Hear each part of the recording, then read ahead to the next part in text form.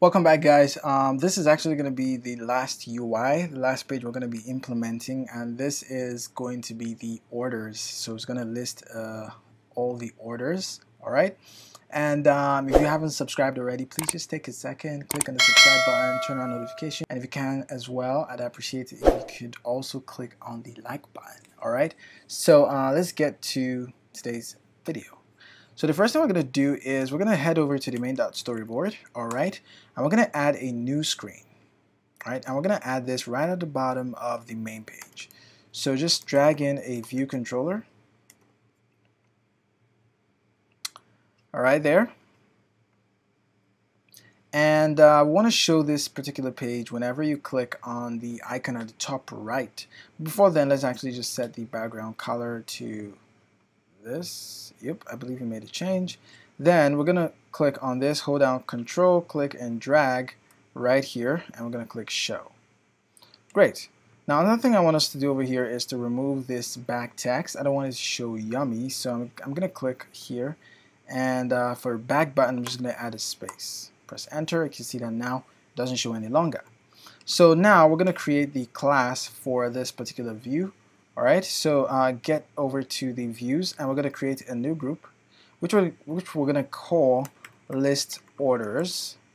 Alright, so create a new Cocoa Touch class and say list orders. Great. So now that we have that created, we can actually just get rid of this.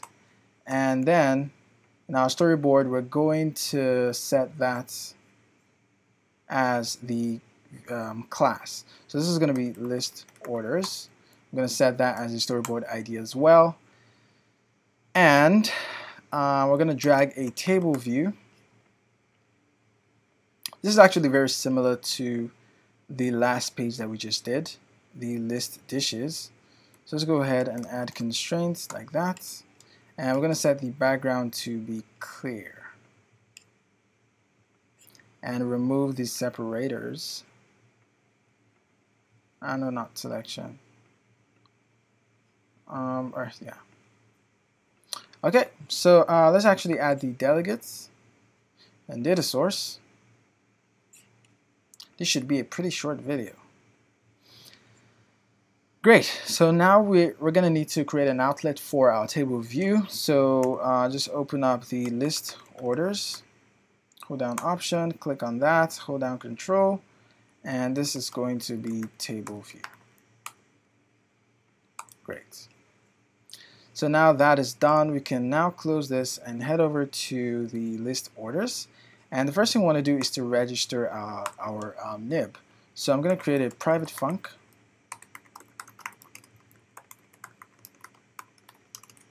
And I will say table view dot register and we're actually going to be using the same view as the, um, the list dishes, all right?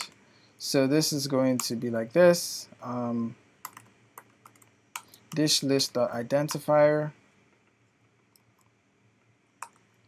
nil the identifier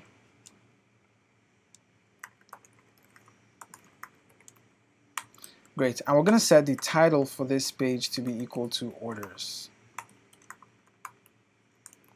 Awesome. So now we can go ahead and implement the um, table view delegate and data source. So extension of the UI, um, sorry, list orders like this, table view. I'm making so many mistakes today.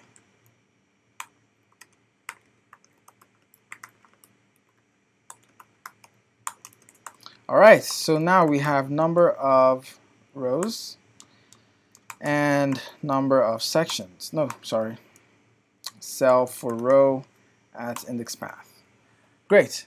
Now before we implement this, I want us to actually create a new model that is going to be called orders. So get over to the models part and we're going to create a new Swift file and we're going to call this order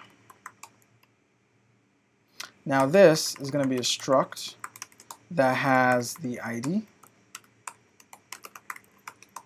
It also has the name of the person that placed the order and then we also have the dish. Perfect. Now we can go back into our um, this place and create a an array of order. Okay, so uh, for the order, I'm just gonna go over to the home page first of all, just to copy a single order, because man, you know what it is. So uh, let's get back, and now for order, I'm just gonna create one or two ID, name. All right, for the dish, I'm just gonna paste that, and let's do another one, another one. Um, David,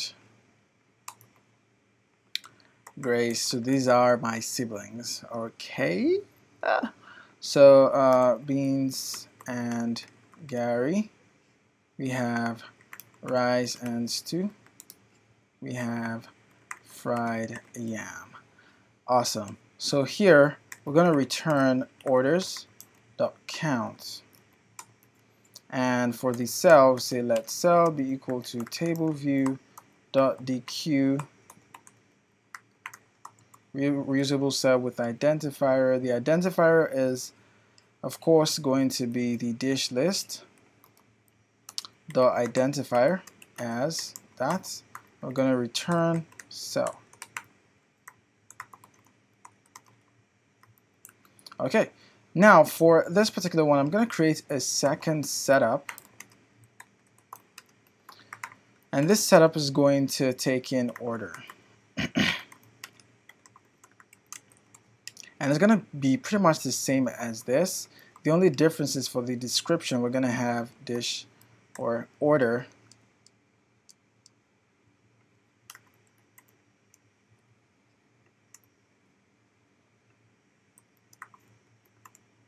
So the dish is optional, remember?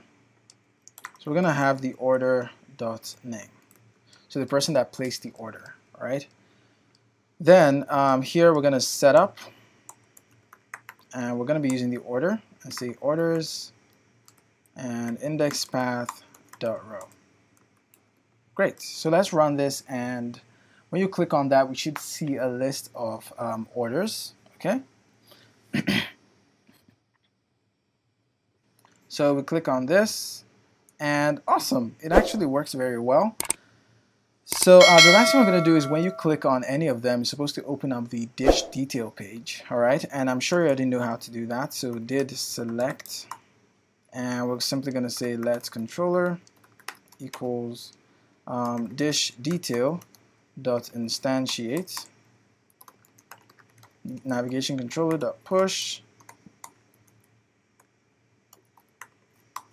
controller and true and right here, we're going to need to set the dish. So dish is going to be equal to um, orders index path dot row and then we're going to pass in the dish. So let's run this and I guess this should be it. So we click on this we click on Beans and Garri. You can see Beans and Garri. We click on Fried Yam. Yes! So we're done with our UI. In the next video, we're going to work on our networking layer. So we're going to create or set up our networking layer so that we can make requests easily. All right. So till then, see you guys next time.